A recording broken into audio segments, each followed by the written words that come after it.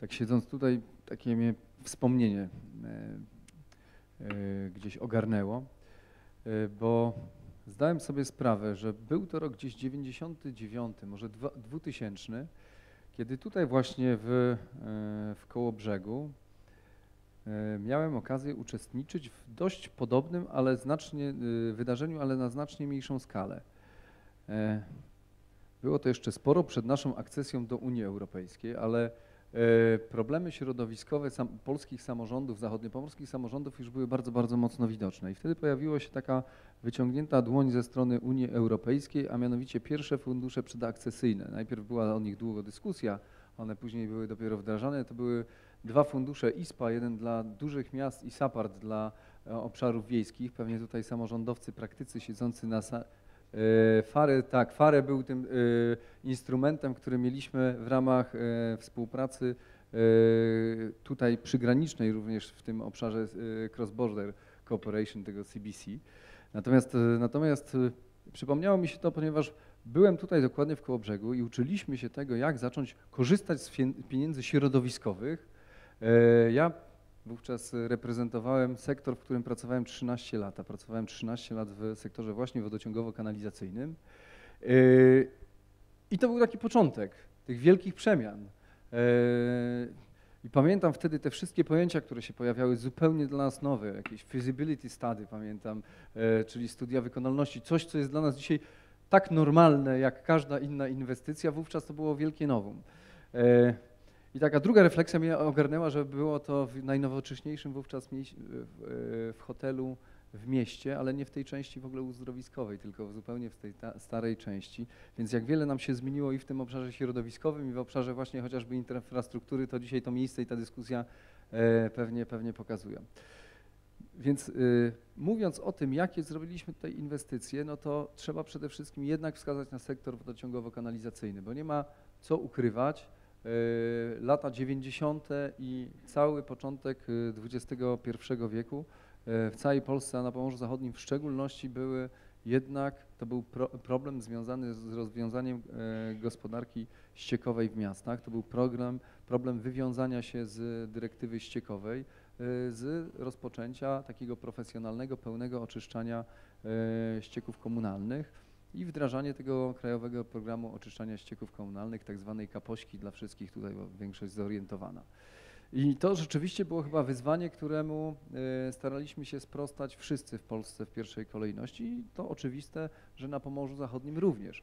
Ale na Pomorzu Zachodnim mamy się czym pochwalić, ponieważ e, pewnie nie wszyscy już o tym koniecznie muszą wiedzieć, że spośród trzech największych programów e, w zakresie gospodarki wodno-ściekowej dwa były realizowane w województwie zachodniopomorskim. Po pierwszy, największy e, projekt wodno-ściekowy w Polsce to była budowa oczyszczalni Czajka, a więc budowa oczyszczalni dla miasta stołecznego Warszawy wraz z całą siecią zbiorczą, ale już drugi e, to był program poprawy jakości wody w Szczecinie, program realizowany przez ZWIK Szczeciński, program, w którym miałem niemałą satysfakcję uczestniczyć przez 4 lata E, swojego życia i który w 2010 roku e, zakończyliśmy, powiem z sukcesem, otwierając nowoczesną oczyszczalnię dla Szczecina, e, oczyszczalnię Pomorzany, budując setki kilometrów sieci zarówno kanalizacyjnej, ale również wodociągowej, bo poprawiliśmy również jakość wody pitnej.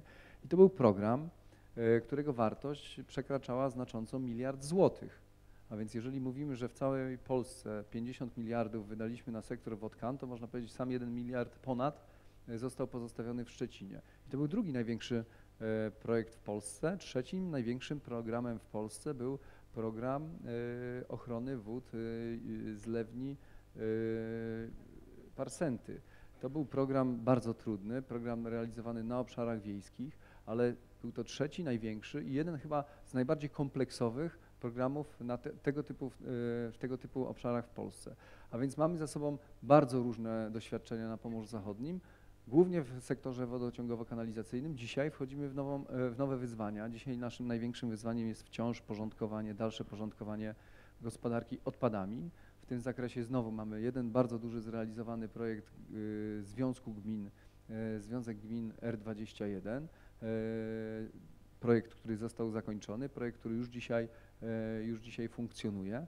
E, Kolejne w tym zakresie są realizowane, chociażby e, projekt budowy spalarni odpadów w Szczecinie. To jest drugi największy, czy największy w chwili obecnej realizowany tego typu projekt na Pomorzu Zachodnim, projekt ekologiczny. A więc w niedługim czasie zakończymy kolejne wyzwanie głęboko w to wierzę, no a kolejne przed nami. No mamy coraz bardziej, bardziej wyśrubowane, powiedziałbym, normy środowiskowe w zakresie ochrony powietrza i temu również będziemy starali się sprostać. Będziemy temu starali się sprostać również na- pomagając firmom, które są, e, które są tutaj głównym emitentem. E, Myślę, że w jakiś sposób Wojewódzki Fundusz Ochrony Środowiska i e, będzie wraz z Narodowym Funduszem, e, niezależnie od tych funduszy akcesyjnych, y, już nie akcesyjnych, przepraszam, tych funduszy, które mamy dostępnych z tej perspektywy budżetowej na lata 2014-2020 na pewno wspierał, bo kończąc powiem tylko tyle.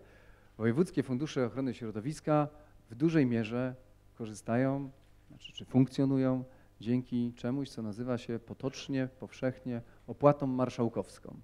I ja zawsze powtarzam, pan marszałek ma czarny PR, a pan prezes pieniądze. Więc zakładam, że chociaż te pieniądze będzie dobrze pożytkował na ochronę środowiska. Dziękuję bardzo. Zachodniopomorskie stawia na ekologię, bardzo nas to wszystko cieszy. Panie Marszałku, ale ja chciałbym jeszcze Pana dopytać, bo e, prezydenci wielu, no co najmniej kilku polskich miast chwalą się tym, jak dobrej jakości jest ich woda w wodociągach i zachęcając do picia wody prosto z kranu. Czy tak jest również w Szczecinie? Tak, zdecydowanie w Szczecinie można pić i w, bardzo, i w zasadzie we wszystkich miejscowościach Pomorza Zachodniego można pić wodę z kranu. Woda z kranu jest wodą zdatną do picia. Yy, O walorach smakowych to każdy musi się sam przekonać. Uważam, że ten program, o którym mówiliśmy, a więc program poprawy jakości wody w Szczecinie, uczynił bardzo, bardzo wiele, jeżeli chodzi o jakość wody pitnej w Szczecinie. Powiem tak, woda na wstępie zawsze yy, po, po przejściu przez cały cykl oczyszczania ma naprawdę smak rewelacyjny. Jeżeli jakiekolwiek walory smakowe się pojawiają, to czasami jest to efekt tego, że niestety w Polsce wciąż musimy e, dozować e, chlor lub dwutlenek chloru na sieć, e, na sieci o dużych średnicach i czasami jest to lekko wyczuwalne w niektórych rejonach, ale ja, ale ja piję osobiście wodę z kranu i jakoś e, sobie chwalę. Jak widać nawet chyba najgorszym zdrowiem się nie cieszę. W Kołobrzegu również można, to przed chwilą słyszeliśmy.